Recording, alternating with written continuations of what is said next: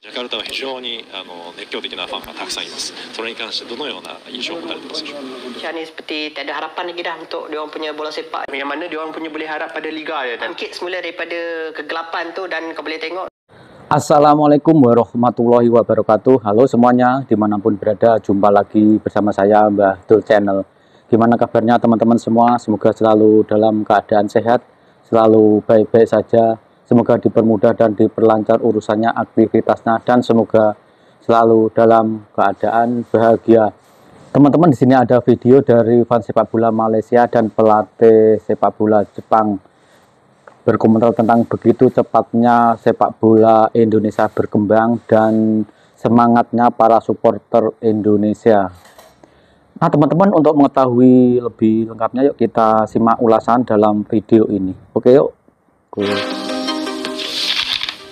Dari cuplikan video di atas terlihat jika pundit Malaysia yang pesimis jika negaranya akan masuk Piala Dunia, namun sebenarnya begitu juga dengan timnas Indonesia, yang sampai kini masih bersiap dan bertaruh untuk mengamankan tiket round keempat kualifikasi Piala Dunia 2024. Namun di samping itu, Indonesia patut berbangga atas pencapaian yang telah diraih tim Garuda sejauh ini. Dan sampai saat ini, supporter Garuda masih setia dan Oh, mendukung penuh luar biasa. pasukannya dan Supporter selalu memanaskan Indonesia. stadion dengan aksi-aksinya yang memukau.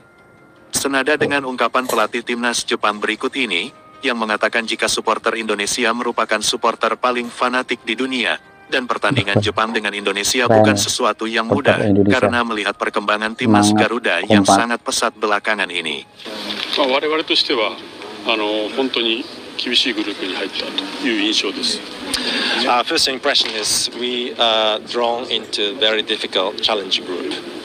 Okay, uh, compared to the in, in Asian Cup, uh, Japan beat Indonesia 3-1, and the next occasion will be home, home and away. And we know the atmosphere in Jakarta. How do you see and how do you prepare for that occasion?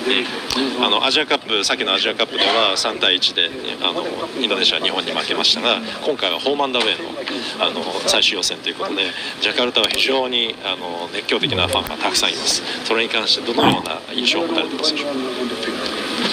ジャカルタでの試合はあの今回の予選の中でも本当にこう厳しい、えー予選になるだろうなというふうにあの想像はしております、えーインドネシアのサポーターそしてインドネシアの、えー近年のレベルアップをずっと見てきております。あの彼らあの皆さんのその成長のスピードっていうのには驚きを隠し得ません So the match in Jakarta against Indonesia will be very, very challenging game for us.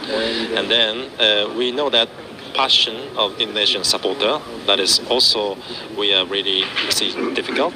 But also uh, we know that how speedy the Indonesia team grow up recently.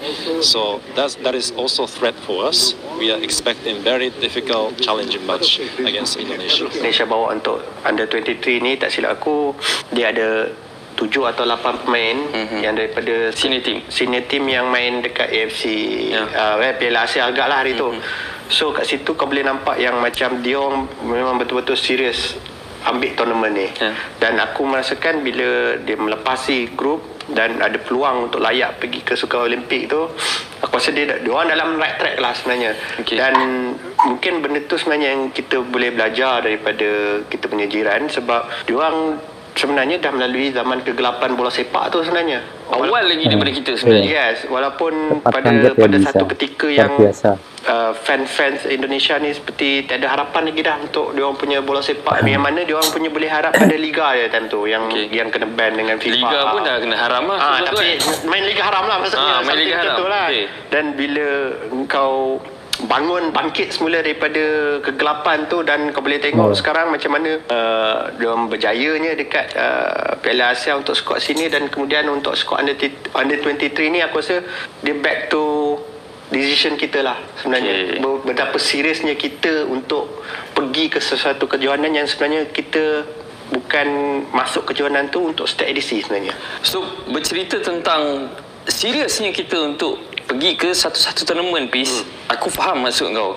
Selection of player yang uh, Indonesia bawa kali ni eh daripada jurulatih diorang Shin Tae-yong eh. Hmm. kita sebagai rakan serumpun kita hmm. happy lah dengan jiran kita performance dia orang uh, dekat saingan Piala Asia kita tahu kita mungkin satu ataupun dua langkah sedikit keterbelakang hmm. daripada dia orang tapi melihat kepada star player dia star boy dia orang player yang beraksi dekat overseas ke player-player penting untuk squad club dekat negara dia orang ke semuanya diberikan peluang untuk beraksi dalam kejohanan under 23 piece hmm. player macam Witan Sulaiman uh, Pratama Arhan. Hmm. Marcelino Ferdinand Rizky Redor. Ini adalah player-player penting untuk skuad sini ya, orang. Maksudnya dekat skuad sini pun kau dengar dekat nama-nama Nama yang sama, Bis. Dan bawa pro under 23. Betul. So, bagi aku, kita ada ramai sebenarnya player-player yang bagus yang boleh kita kategorikan sebagai star boy Malaysia hmm. dan kita tak bawa hmm. pun ke kejohanan ni. Bukan kejohanan ni je.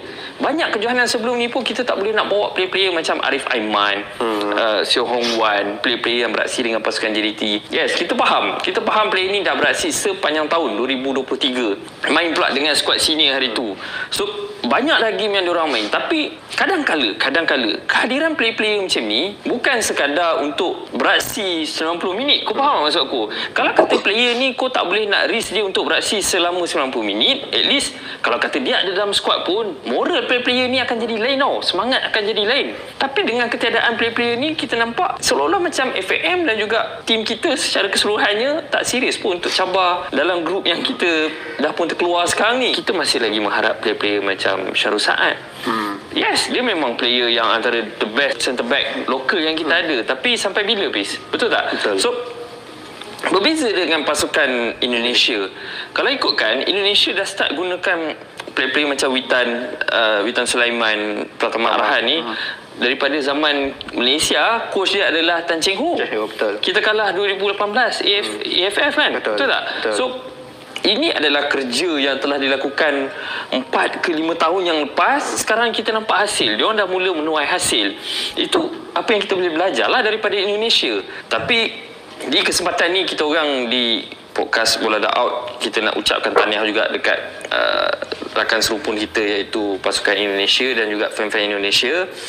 Kita perasan sebenarnya dekat channel itu yang studio dan juga um, platform-platform media sosial bola sepak negara kita ni dihujani oleh penyokong-penyokong Indonesia satu perkara yang aku nak korang tahu fan-fans Indonesia aku tahu ada toksik-toksik hmm. Fans daripada Malaysia ni sama juga macam Indonesia. Tapi aku sangat appreciate komen-komen yang murni yang membangun daripada hmm. fan-fan Indonesia dalam video-video Etuan Studio dan juga dekat platform-platform media sosial kita yang lain. Sebab benda-benda ni sebenarnya yeah. sangat positif dan menunjukkan yang kita ni tak adalah mendongak ke langit dia kan bila kata dah menang. Macam Malaysia, sebelum ni Malaysia pun pernah melalui perkara yang sama. Hmm. Pernah juga jadi bongkak bangga diri macam ni kan. And sampai satu tahap kita pun akan jatuh, kita akan down sikit, kita perlukan rakan serumpun kita untuk support kita. Begitulah tadi komentar fans sepak bola Malaysia dan pelatih sepak bola Jepang Indonesia sempat mengalami ketertinggalan tapi begitu cepatnya dia bangkit dan berkembang Nah, semoga video tadi menjadi informasi dan bermanfaat untuk teman-teman semua. Terima kasih yang sudah menonton dan sudah subscribe. Yang belum subscribe, silahkan subscribe karena subscribe itu gratis. Oke, saya minta undur diri. Wassalamualaikum warahmatullahi wabarakatuh.